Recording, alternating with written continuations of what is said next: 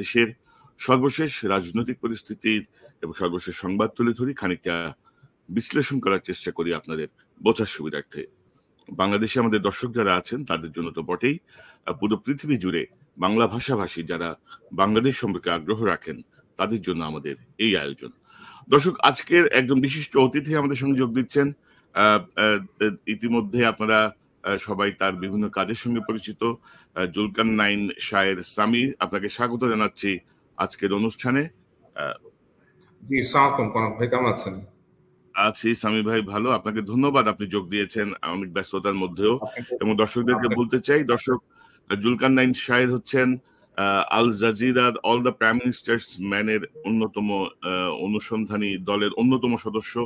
এবং আপনারা তার অনেক সাক্ষাৎকার দেখেছেন। ইতিমধ্যে তিনি তার টুইটার যে অ্যাকাউন্ট বর্তমানে এক্স সে অ্যাকাউন্টের মাধ্যমে নানা তথ্য তুলে ধরে মানুষের কাছে বেশ আলোচিত, বেশ সমালোচিত বটে।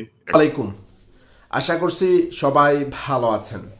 দর্শক, এবার যে তামনাইল এবং টাইটেলটা দেখে ভিডিওটি ক্লিপ করেছেন, পুরো ভিডিওটি দেখার চেষ্টা করবেন। এটা আমি কি শুনেছি আসলে? এইটা শোনার পরে কারও মন ঠিক থাকার কথা না। আমার দেশটাকে নিয়ে কি হতে যাচ্ছে? ইন্ডিয়ার চল্লিশ জনকে নাকি, অর্থাৎ চল্লিশ জন ভারতীয় নাগরিককে বা ভারতীয় প্রভাবশালী মানুষদেরকে বাংলাদেশ নির্বাচনের চল্লিশটা নমিনেশন তাদেরকে দিতে হয়েছে বা দিয়েছেন শেখ হাসিনা। শুধু আরেকবার ক্ষমতায় আসার জন্য। দর্শক ভিডিও দেখবেন ভিডিও দেখে অবশ্যই আপনার মূল্যবান মন্তব্য কমেন্টস বক্সে জানিয়ে দিবেন।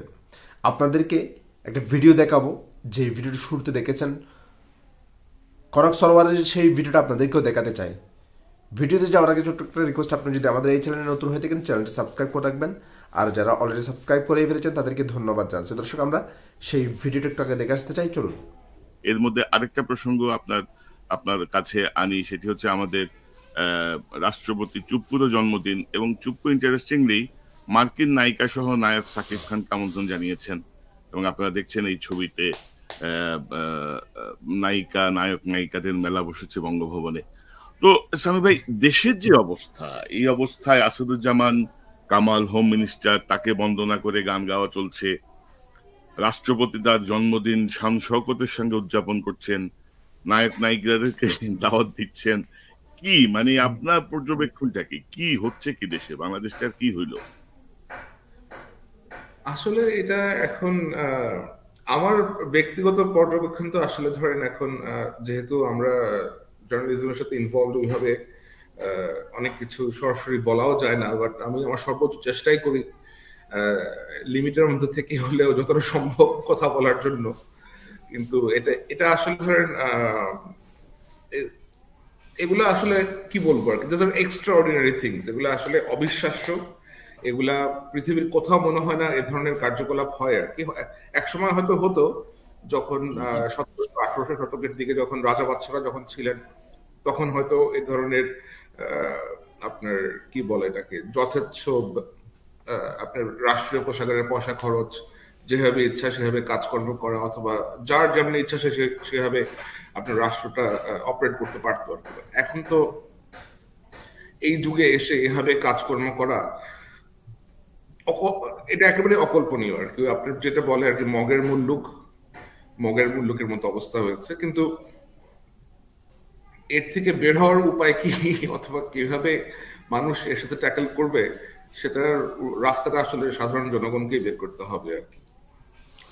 রাইট এবং ধরেন যে মানুষের ধরেন দ্রব্যমূল্যের যে ভয়াবহ অবস্থা মানে মানুষ তো আসলে নাভিশ্বাসে চূড়ান্ত পর্যায়ে যে পৌঁছেছে তো সেখানে ধরেন মানে এটা আসলে আমার কাছে আমি জানি না এরা আসলে ভিন্ন কোনো ক্যাটাগরি দিয়ে তাদের মস্তিষ্ক তৈরি যে আমার সম্পর্কে একজন লোক বসে বসে গান গাইতেছে আমি সেটা বসে বসে শুনতেছি হজম করতেছি। আমার যেটা মনে হয় আর কি যে তাদের কাছে তাদের নিজেদের স্তুতি শোনা অথবা নিজেদের ব্যাপারে এ ধরনের প্রশংসার বাণী শোনা এগুলো শুনতে তারা বেশ পছন্দ করেন। এমনকি বাংলাদেশের প্রাইম মিনিস্টার শেখ হাসিনা, ওনার ওনার স্তুতি করে অথবা ওনার প্রেস করে সংসদে বেশ কিছু ওয়ার্কিং আওয়ার লাইক ওয়েস্ট হয়েছে বলে আমরা জানি আর কি। বেশ কয়েকশো আওয়ার মধ্যে কোথাও ওয়েস্ট হয়েছে এবং which cost like enormous amount of money তো আপনি যদি দেখেন বাংলাদেশের সংসদে অথবা যে কোনো জায়গাতে যদি তারা যান তাদেরকে এমনভাবেই প্রেজেন্ট করা হয় যে তারা হচ্ছেন অসীম ক্ষমতাধর এবং এদের ক্ষমতার চাইতে লাইক এদের থেকে বেশি ক্ষমতাধর বলে আর কিছু নাই আর কি। এগুলা বেসিক্যালি আসলে করা হয় একটা কাল্ট আপনি যদি কোনো একটা কাল্ট স্টাবলিশ করতে চান, তাহলে ওই কাল্টটাকে ঘিরে সাধারণ মানুষের মনে বিভিন্ন রকমের ভয় ভীতি অথবা পুশ করে লাইক আপনার এ ধরনের সম্মান আদায় করা, এ ধরনের লাইক ভাবে বিষয়গুলো কাজ করে আর কি। সো এখানে এটা এটা খুব নতুন কিছু না। এভাবে আপনি যদি দেখেন যে উত্তর কোরিয়ার দিকে যদি আপনি দেখেন, উত্তর কোরিয়ার যে সুপ্রিম লিডার তাকেও এভাবে বিভিন্ন ভাবে আপনার তোষামত করা হয় তোষামত করে তাকে বোঝানো হয় লাইক সাধারণ মানুষের মধ্যে একটা ফিয়ার ইনফ্লিক্ট করার জন্য, যে সে খুবই গুরুত্বপূর্ণ একজন ব্যক্তি, তাকে এভাবেই অ্যাপ্রোচ করতে হবে এবং তার ক্ষমতা হচ্ছে অসীম। তো তাকে তারা আপনার ভগবান তুল্য অথবা খোদা তুল্য এরকম পর্যায়ে নিয়ে যান আর কি, যে তাদের কোনো ভুল থাকতে পারে না, তাদের মধ্যে কোনো রকমের ত্রুটি বিচ্যুতি কোনো কিছু থাকতে পারে না। তো এরা আসলে নিজেদেরকে আমার মনে হয় এই অবস্থাটাই নিয়ে গেছেন। আপনি যদি দেখেন যে এই যে এই সমস্ত পলিটিশিয়ান যারা আছেন বাংলাদেশে, বর্তমানে যারা মন্ত্রী আছেন এমপি আছেন, আপনি প্রায় দেখবেন যে বিভিন্ন শর্ট ভিডিও আসে ফেসবুকে অথবা অন্যান্য সামাজিক মাধ্যমে যে বিশাল বড় একটা গাড়িতে করে, বিশাল বড় একটা গাড়ি এবং গাড়ির বহন নিয়ে এই লোকগুলো গ্রামের জীর্ণ শীর্ণ রাস্তা রাস্তা দিয়ে রাস্তা ভেঙে গেছে, এরকম রাস্তা দিয়ে যাচ্ছে।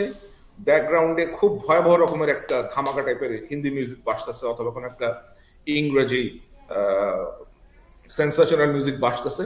এরা গাড়ি থেকে লাট বাহাদুরের মতো করে নামে, নেমে আবার আপনার ওই কিছু খুবই জীর্ণ শীর্ণ আপনার ছেঁড়া কাপড় চোপড় পরে লোকজন এদেরকে ঘিরে ধরে। এবং এরা এই জিনিসটা খুব গর্বের সাথে তাদের সামাজিক মাধ্যমে, সামাজিক যোগাযোগ মাধ্যমে বলেন, আপনার অন্যান্য মাধ্যমে, এটাকে তারা শেয়ার করতেছে। হুইচ ইজ অ্যামেজিং অ্যাকচুয়ালি আপনি এই ধরনের জিনিস আপনি কীভাবে করতে পারেন? তাই না? এটা তো কোনো আপনি যদি বহির্বিশ্বে যদি আপনি দেখেন ইউকে বলেন আমেরিকা বলেন অথবা যদি ভারতের দিকে যদি আপনি বলেন তারাও কিন্তু তাদের নিজেদের দেশে গাড়িতে করে যায়। ওই যে আপনি টাটার গাড়ি আছে অথবা আপনার ওদের দেশে তৈরি গাড়ি আছে। এই যে এরা এরকম ডিউটি ফ্রি গাড়ি নিয়ে আসে দেশে এক একটা গাড়ির এত এত এত এত টাকা দাম এক একটা গাড়ি এগুলা তারা হাঁকায় বেড়ায় তাদের বাচ্চারা আপনি ফেরারি কিনে এক একজন এক একটা লাক্সারিয়াস গাড়ি কিনে, এবং কোনো অ্যাকাউন্টেবিলিটি নাই। সব থেকে মজার কথা হচ্ছে যে, এই লোকগুলা যা ইচ্ছা তাই করে যাচ্ছে, এবং এদের কোনো রকমের অ্যাকাউন্টেবিলিটি নাই। যে এদেরকে যে কেউ প্রশ্নের সম্মুখীন করবে, এরকম কোনো মেকানিজম বাংলাদেশে নাই। মেকানিজম আপনার প্রতিষ্ঠান তৈরি করে রাখা হয়েছে, কিন্তু প্রতিষ্ঠানের কোনো রকমের ক্ষমতা নাই। কারণ প্রতিষ্ঠানের ক্ষমতা এক্সারসাইজ তারা কীভাবে করবে? They themselves R beneficiaries of the regime তাই না? সো এটা it is a complete lawlessness আমি বলব it is a complete lawlessness এবং এটার থেকে উত্তরণের অথবা how to fix this is all together a different kind of ইয়ে কি আপনার ডিসকাশন বাট এই মুহূর্তে যেটা আছে, এটা একেবারে অবিশ্বাস্য এবং এ ধরনের উদাহরণ আমার আমার মনে হয় না উত্তর কোরিয়া ছাড়া এই মুহূর্তে আর কোথাও আছে। এবং আপনি দেখেন আমাদের দর্শক আমাকে একটা ছবি পাঠিয়েছেন যে একটি পেঁয়াজের দাম হচ্ছে সতেরো টাকা। মানে তিনি এই এইভাবে তুলে একটা ছবি পাঠিয়েছেন। দেখা যাচ্ছে একটি পেঁয়াজের দাম হচ্ছে সতেরো টাকা প্রাইস তো সেখানে ধরেন আমাদের এ ধরনের এ ধরনের ছবি তুলে অথবা ফেসবুকে লিখে অথবা আপনার বিভিন্ন ইউটিউবে এসে বলে আলাপ করে টক শোতে আলোচনা করে you are not going to get any any solution out of it আপনি ফেসবুকে এগুলা ছবি তুলে দিবেন আপনি কিছু কয়েকশো শখানেক লাইক টাইক পাবেন লোকজন এসে মজার চটকদার কমেন্ট করবে then end of it so you have to act এখন how you are going to act it depends entirely up to you that how you are going to to act for yourself আপনার পরামর্শ কি? কি করা যেতে পারে? আসলে মানে Facebook I can't give like a ধরনের রাজনৈতিক পরামর্শ তো আর আমি দিতে পারব না বাট এখন how somebody is going to act অথবা সে তার অধিকারের জন্য কীভাবে আপনার ইয়ে করবে আপনার প্রতিবাদ করবে সেটা ব্যক্তির নিজস্ব ব্যাপার। ওইটাই এবং ধরেন যে এরকম একটা সিচুয়েশনে কতটুকু মানে বিবেকহীন এবং অন্ধ হলে একজন রাষ্ট্রপতি তার জন্মদিনের শান শওকতের আয়োজন করতে পারে এবং সেখানে নায়ক নায়িকা বিশেষ করে মার্কিন যুক্তরাষ্ট্র থেকে এক মহিলা এক নায়িকা অভিনয় করতে গেছেন তাকে শুদ্ধ দাওয়াত দিয়ে এক ধরনের মানে এটা এক ধরনের ইয়া যে ওই রোম রোম পুড়ে যাচ্ছে নীরব বাঁশি বাজাচ্ছে হ্যাঁ, রাষ্ট্রপতি যিনি হয়েছেন উনি তো রাষ্ট্রপতি হওয়ার পর থেকে বিদেশে গিয়ে ঘুরে বেড়াচ্ছেন ওই যে আমি আপনাকে বললাম যে অ্যাকাউন্টেবিলিটি নাই নাই যে দেশে কোনো অ্যাকাউন্টেবিলিটি নাই, সে দেশে তো এরকম হতেই থাকবে যে রাষ্ট্রপতি প্লেন বোঝাই করে লোকজন নিয়ে আজকে তুরস্ক যাচ্ছেন, কালকে সৌদি আরব যাচ্ছেন, পরশু আরেকটা দেশে যাচ্ছেন, আরেকদিন সিঙ্গাপুরে যাচ্ছেন ইন্দোনেশিয়া যাচ্ছেন। বাট এর আউটকামটা কি? এর আউটকামটা তো আমাদেরকে জানতে হবে যে আপনি যে এত এত টাকা খরচ করে যাচ্ছেন বিদেশে, এর আউটকামটা কি? এই প্রশ্নটা তাকে কে করবে? এই প্রশ্নটা করার জন্য যে ইনস্টিটিউশনগুলো প্রয়োজন, তা তো বাংলাদেশে নাই। বাংলাদেশে একটা শক্ত স্বাধীন আহ, গণমাধ্যমের ইয়ে নাই এক্সিস্টেন্স নেই। আপনি প্রথম আলো আছে ডেলি স্টার আছে এরকম আরও কয়েকটা পত্রিকা হয়তো আছে তারা সবাই নিজেদের স্কিন সেফ করে যতটা সম্ভব তারা কাজ করে যাচ্ছে। যতটা সম্ভব they are trying to deliver এছাড়া আরও অনেকেই আছেন they are all trying to deliver but আপনি এদেরকে একটা উন্মুক্ত জেলখানার মধ্যে রেখেছেন। হুম। ইচ্ছা হবে এদেরকে ধরে আপনি পাকড়াও করে ঢুকা দিবেন এবং এটা তারা ভালো করেই জানে। সো এটা আপনি আমাকে বলেন যে আমরা তো এখন দেশের বাইরে আছি আমরা কাজ করতে পারছি ইন্ডিপেন্ডেন্টলি তাও আমাদের চিন্তা করতে হয় যে দেশে আত্মীয় স্বজন আছে। আমার ভাইকে পিটাইছে গত বছর লাইক এবছর তাই না? সো এখন তারা যদি মনে করে থাকে এগুলো করে দমানো যাবে এগুলো করে তো আমাদেরকে দমানো সম্ভব হবে না। কিন্তু দেশের ভিতরে যারা আছেন তাদের বাবা আছে মা আছে বহুত আত্মীয় স্বজন আছে অনেক কাজকর্ম তাদেরকে করতে হয়। বাচ্চার স্কুল আছে ওয়াইফের চাকরি আছে খালাতো ভাই মামাতো ভাই বহুত চিন্তা করতে হয় আর কি। ওকে কিন্তু এই সিচুয়েশনটা আসলে যেদিকে যাচ্ছে ওদিকে গেলে আপনার আমার মনে হয় ব্যক্তির এক্সিস্টেন্সই একটা সময় প্রশ্নের হুমকি হুমকি হুমকি সম- সম্মুখীন হবে আর কি। So people should really really ask themselves যে এই যে অবস্থাটাতে এসবে দাঁড়িয়েছি এখন আমাদের মুক্তির উপায়টা কি অথবা আমরা কীভাবে নিজেদেরকে এখন এখান থেকে বের করতে পারব? ওইটাই এবং আপনি যেটি বলছিলেন যে রাষ্ট্রপতি হওয়ার আগ পর্যন্ত ওই তিনশো টাকা দিয়ে পাড়া ডাক্তার ডাক্তার দেখায় আর রাষ্ট্রপতি হইলেই আপনার তার দরকার হয় লন্ডন আর মাউন্ট এলিজাবেথের চিকিৎসা। রাষ্ট্রপতি হয়েছেন চুপ্পু সাহেব শাহাবুদ্দিন চুপ্পু। ওনার বিষয়ে আমি বেশ ইন্টারেস্টিং একটা একটা বিষয় জানি। উনি যখন অ্যান্টি করাপশন কমিশনের বাংলাদেশের দুর্নীতি দমন কমিশনের অ্যাক্টিং চেয়ারম্যান ওনাকে যখন করা হয় আর কি তখন উনি উনি বোধহয় বেশ কিছু অ্যাক্টিং চেয়ারম্যান ছিলেন। হয়তো এক দেড়শো দিন এরকম বোধহয় একটা পিরিয়ড। উনি অ্যাক্টিং চেয়ারম্যান ছিলেন এবং অ্যাক্টিং চেয়ারম্যানের একটা দৈনিক তেলের ভাতা আছে এবং আমাকে যে গল্পটা বলা হয়েছে যেটা একটা বিশেষ গোয়েন্দা সংস্থা থেকে আমাকে যে ইনফরমেশনটা বলা হয়েছে সেটা হচ্ছে যে আপনার উনি ওনার এই তেলের যে দৈনিক টাকাটা এটা উনি ইনস্ট্রাকশন দিয়ে দিয়েছিলেন ওদের অ্যাকাউন্টসকে যেন এটা প্রত্যেক দিন ক্যাশ টাকাটা তার ক্যাশ টাকার যে তেল সরি তাকে একটা তেল অ্যালাউন্স করা হয়। তো এই এই যে তার অ্যালোকেটেড যে তেলটা আছে এই তেলটা সে তার ড্রাইভার বাইরে কোথাও গিয়ে বিক্রি করতো। বিক্রি করে তেল বিক্রির যে টাকাটা সে দশ পার্সেন্টের মতো টাকা রেখে বাকি টাকা এসে চুপ্পু সাহেবকে সে পে করে দিত আর কি।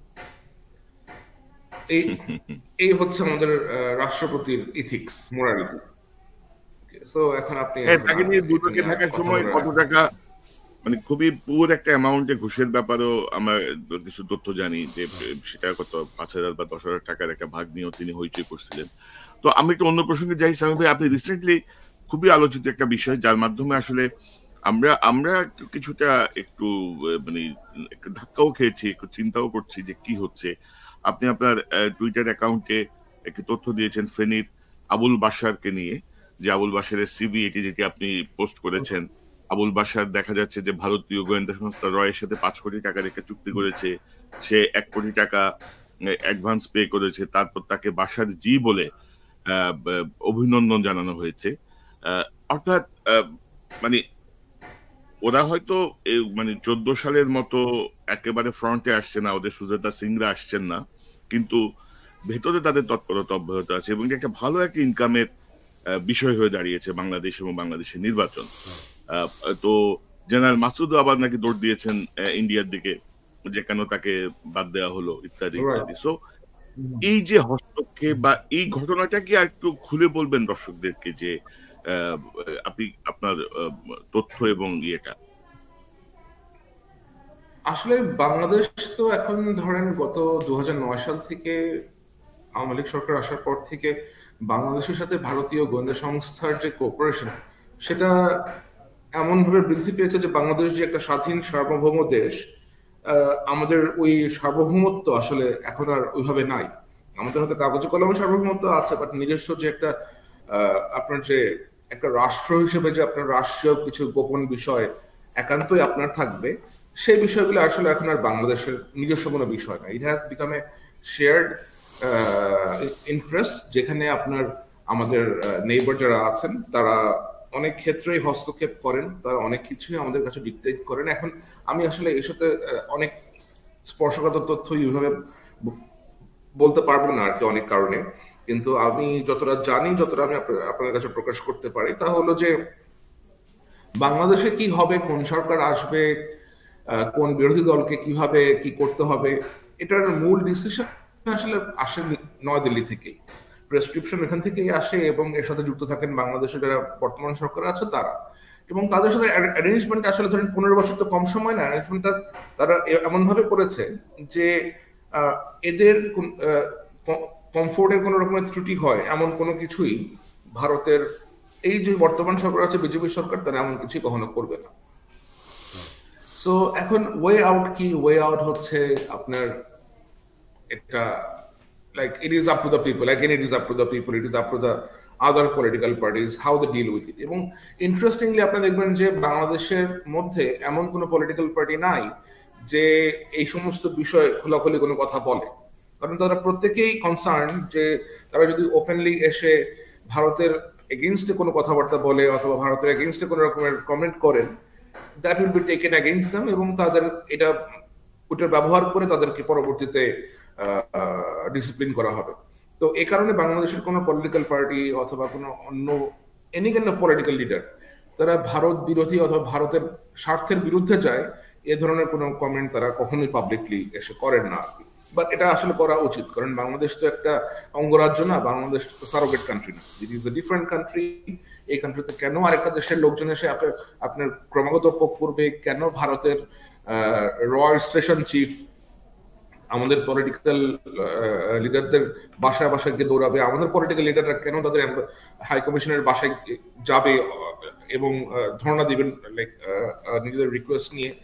এগুলো আসলে আনহার্ড অফ এগুলো আপনি ওরকম ছোট ছোট দেশে দেখতে পারবেন যে কোনো একটা দেশের পাশে হয়তো খুবই স্মল একটা এনক্লেভ আছে লাইক ওরা হয়তো করতে পারতেছে but look at Taiwan look at Hong Kong দেখেন এই সমস্ত দেশগুলা চায়নার মতো বড় একটা দেশের সাথে বন্ধু এর টক্কর দিয়ে আসছে বিকজ এদের যে পলিটিক্যাল লিডারশিপ ছিল দে ওয়ার সামহাউ অনেস্ট এদের মধ্যে লোকজন ছিল যারা তাদের নিজের দেশকে ভালোবাসছে অথবা নিজের দেশের স্বার্থের ব্যাপারে হয়তো তারা আমাদের থেকে বেশি আগ্রহী হয়েছে। এটা এটা আসলে খুবই লজ্জাজনক আর কি। আর ভারতের যে গোয়েন্দা সংস্থা আছে, তারা তো নগ্নভাবেই আমাদের বিভিন্ন বিষয়ে হস্তক্ষেপ করে যাচ্ছে এবং এই সুযোগটা আসলে করে দিয়েছে আমাদের এনএসআই, ডিজিএফআই এই সংস্থাগুলাই এই সুযোগগুলো করে দিয়েছে। এখন এই সংস্থাগুলো যে ইচ্ছাকৃত ইচ্ছাকৃতভাবে সুযোগগুলো করে দেয় তা কিন্তু না। এদেরকে ইনস্ট্রাক্ট যেভাবে করা হয়, তারা তো আসলে হুকুমের গোলাম। তাই না? এদের তো কোনো স্বাধীনতা নাই। এদেরকে, এদের যাদেরকে প্রধান করে বানানো হয়, যেমন আপনি if you look at NSI DG এই লোক দুই হাজার সতেরো, আঠারো সাল থেকে এনএসআই ডিজি হয়ে বসে আছে। তাই না? তো এটা আর আর কাউকে পরিবর্তন করা হচ্ছে না। এবং he has got very good arrangement with the Indians আর আমরা জানি যে অ্যাকচুয়ালি কি হয়। এবারের ইলেকশনে প্রায় কমপক্ষে চল্লিশ জনের মতো ক্যান্ডিডেটকে ভারতের গোয়েন্দা সংস্থা সিলেক্ট করে দিচ্ছে এবং এদের কাছ থেকে তারা টাকা পয়সা নিচ্ছে। দশ পনেরো কোটি টাকা করে তারা নিচ্ছে এবং their chosen candidates will become MP তো ধরেন পশ্চিমা বিশ্বের যে অবস্থান বা ইন্ডিয়া আমেরিকার যে সরাসরি অবস্থান, তাতে হয়তো ভারত তাদের রাষ্ট্রীয় যে মেকানিজমটা সরাসরি ব্যবহার করছে না। যেমন আমি যেটা বলছিলাম যে চোদ্দ সালে সুজাতা সিং সেই সাথে চাপ দিয়েছেন এখন তারা অন্য পদ্ধতিতে যেটা আপনার দৃশ্যমান হচ্ছে না আর কি যেটা আমাদের চোখে আসছে না। আগে তো ধরেন ভারতীয় কেউ আসলে সেটা অ্যানাউন্স করা হতো এখন হয়তো গোপনে গোপনেই তারা আসতেছে যেটা পাবলিক জানতে পারতেছে না। এই যে ধরেন আপনার একজন লোককে আমি যদি ফেনী তিন আসনের বিষয়টা যদি বলি এই যে বাশির নামে যে ভদ্রলোক সে টাকার বিনিময়ে নমিনেশনটা পেল পনেরো কোটি টাকার বিনিময়ে। তার পরপরই লেফটেন্যান্ট জেনারেল মাসুদ উদ্দিন চৌধুরী, উনি গেলেন ভারতে। উনি গিয়ে ওইখানকার আরেক সামরিক কর্মকর্তার সাথে দেখা করে আসছেন। আরেক লেফটেন্যান্ট জেনারেল পদবীর কর্মকর্তার সাথে দেখা দেখা করে আসছেন বলে আমি জানি। এবং হি কেম ব্যাক এখন যদি উনি কনভিন্স করে থাকেন, তাহলে হয়তো এখন তাকে আবার নমিনেশন দেওয়া হবে। সো উইল সি এগুলো আসলে এমন হয়ে গেছে যে if you have power if you have financial means you can do anything and everything in Bangladesh ব্যাপারটা আসলে এমনই হয়ে গেছে। তো সামি ভাই আরেকটা বিষয় হচ্ছে যে আপনি যেটি বলছিলেন, আমাদের এনএসআই ডিজিএফআই এর কথা, তো আপনি নিজেও সেনাবাহিনীর পরিবার থেকে এসছেন, আপনি নিজেও যোগ দিয়েছিলেন, তো আপনার কি মনে হয়, এই যে ইউনিফর্ম এই যে বুকের মধ্যে এত মেডেল লাগানো, এই যে দেশপ্রেমিক সেনাবাহিনী বলে আমরা যে যে রেসপেক্টের জায়গাটা দেই সেইটারই অবস্থা কেন? অর্থাৎ মানে এবার তো একটা সুযোগ ছিল, বা এখনও আছে, আমি বলব না যে ছিল, কারণ পশ্চিমা বিশ্ব বাংলাদেশের তফসিল ঘোষণার পর থেকে এখন পর্যন্ত কোনো শব্দ উচ্চারণ করে নাই। চুপচাপ তারা শুধু তামাশা দেখতেছে। তো আমরা আশা করি যে এটার একটা ভালো প্রভাব হয়তো আসবে। বাংলা, তাও জন, আপনি যেটি বারবার বলছিলেন, জনগণের উপর ডিপেন্ড করছে, জনগণ কি চায়। তারাও বলছে এটি। তো সেখানে আমাদের এই যে এনএসআই বলেন, ডিজেএফআই বলেন এই যে দেশপ্রেমিক সেনাবাহিনীর অংশ, বিশাল বিশাল মেডেল, বিশাল বিশাল উপাধি লাগিয়ে তারা ঘুরে বেড়াচ্ছেন। নামের আগে এক উপাধি, শেষে আরও কতগুলো উপাধি হ্যাঁ? পিএসসি এনএসসি ডিএসসি তো কি মানে এই অধপতনের কারণ